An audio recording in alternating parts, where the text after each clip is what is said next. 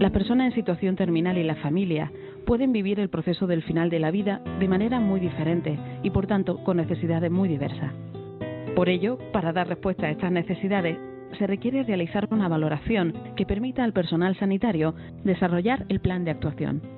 Chu, Fernando y Josefa nos mostrarán a través de su experiencia cómo realizar esa valoración y qué aspectos se deben tener en cuenta. Además, conoceremos cuáles suelen ser los síntomas más frecuentes en estas situaciones y cuáles son los tratamientos más adecuados. ¿Qué valora el equipo sanitario? La idea de los cuidados paliativos es atender de manera global al paciente en todas las necesidades que pueda tener. Entonces, lo mismo se hace una valoración a nivel físico, que es fundamental, es muy importante, por supuesto, pero luego también se hace valoración a nivel emocional, a nivel social, a nivel psicológica o a nivel emocional y a nivel espiritual también. Y así englobamos todas las facetas que en un momento dado puedan estar afectadas o alteradas o requieran de atención, ¿no? Un poco por detectar necesidades que tengamos que cubrir. ¿En qué momento se hace la valoración? En el momento en que el paciente entra en programa, pues es el primer contacto que tenemos con el paciente. Bien se le hace a la familia sola o se hace a la familia y el paciente conjuntamente. Se le hace una entrevista previa y ya se va tomando nota de, de todos los datos que nos van aportando. Todos los informes y junto con los informes y las preguntas que vamos haciendo sacamos toda la información necesaria. Me hicieron toda una serie de pruebas para ver el alcance y la capacidad que yo tenía de recuperarme. Al principio eran a lo mejor cada 15 días para ver cómo evolucionaban las piernas que el que más tenía dañado y los brazos.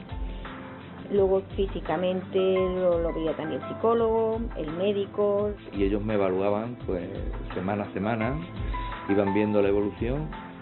¿Cuál es el objetivo de la valoración?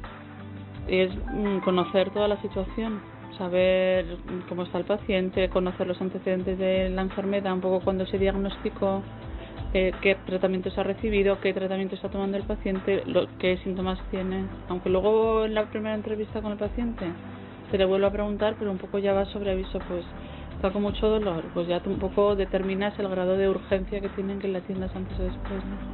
¿Se puede predecir el pronóstico de vida de una persona?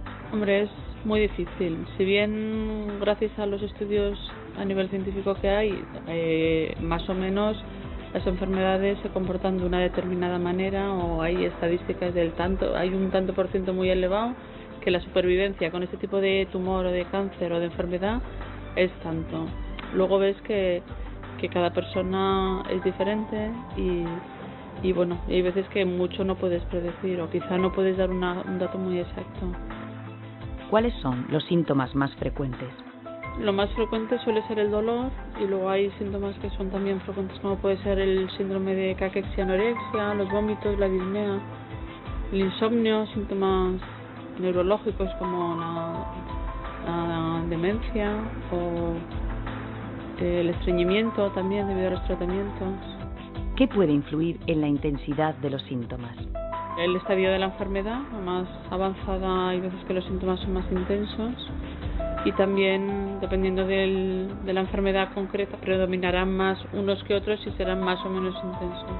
Los pacientes no solo tienen dolor a nivel físico, sino que otra forma de expresar el sufrimiento que la enfermedad conlleva porque afecta a todas las esferas de su vida como ese dolor total, ¿no? De sufrimiento a nivel espiritual, a nivel emocional, a nivel social, ¿no? Por lo que la enfermedad conlleva y lo que descoloca, ¿no? En, la situación. ¿Cuál es el tratamiento más adecuado para el control del dolor? Son muy frecuentes utilizar eh, analgésicos en toda la escalera analgésica de la OMS, tanto pues a nivel básico como ya entrando en opioides potentes y pues también son bastante frecuentes los corticoides, los neurolépticos, un poco dependiendo del tipo de, de síntomas. ¿Se pueden aliviar los síntomas que se presentan en la situación terminal? Es bastante frecuente que sí, que se puedan controlar. Lo único que son pacientes multi, multisintomáticos, con lo cual muchas veces se controla un síntoma y se descontrola otro. Por eso hay que estar constantemente revalorando la situación y, y viendo a ver cómo está. ¿Qué es la sedación paliativa? La sedación paliativa consiste en disminuir el nivel de conciencia del paciente de manera consciente para que esté dormido y no, no sufra, no para un poco eh, paliar o solucionar el, síntoma refractario que nos ha llevado a, dormirlo.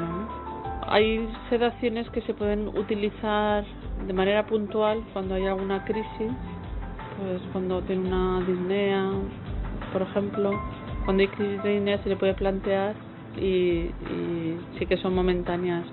Pero la verdad es que en cuidados paliativos lo habitual es que sean las sedaciones terminales, ¿no? O sea que ya al final de la situación el paciente se seda y sabes que no va a volver a despertar, porque la evolución de la enfermedad al final termina con la muerte. ¿Qué se requiere para iniciar una sedación paliativa? Se requiere que el paciente esté de acuerdo, el paciente o la familia, en caso de que el paciente no sea capaz de decidir por sí mismo, y, y que haya un, consentimiento por su parte que quede reflejado en, en la historia, y la existencia de un síntoma refractario al tratamiento ya sea físico o muchas veces es espiritual o emocional, ¿no? por sufrimiento emocional. ¿Qué tipo de consentimiento hace falta para la sedación paliativa? El consentimiento tiene que ser, puede ser explícito o implícito, quiere decir que o bien puede estar firmado, un consentimiento informado, o bien simplemente con dejarlo registrado en la historia clínica puede ser suficiente y está dentro de la relación médico-familia-paciente.